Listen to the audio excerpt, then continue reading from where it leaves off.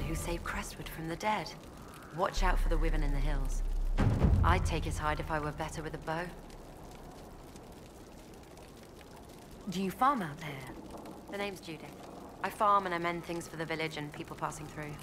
I did a fair trade with traveling merchants before the undead started attacking. Not to mention that dragon. Seriously, why does anyone live out here? Oh, you know, the fishing's grand? There's a wyvern causing trouble. It used to hunt in the mountains. Didn't bother anyone but the bandits. Lately, the beast got it in his head to come down here. It almost crippled Gauld's little boy. Best someone kill it. I hope I get my hands on the liver. It makes a poison that kills rats like nothing. What do you know about the dragon? She moved in a month ago. The guards tried to run her off, but she snapped one's head off and she flew away. Poor Hamold. At least it was quick. Since then, she's eaten three horses, five goats, and two cats. If you're Judith, there's a man in the village concerned about you. that must be Gould. Fretful as ever. I'm glad he stayed in Crestwood. He's fast as you please with a loom, but terrible with a sword. Until later. Be safe.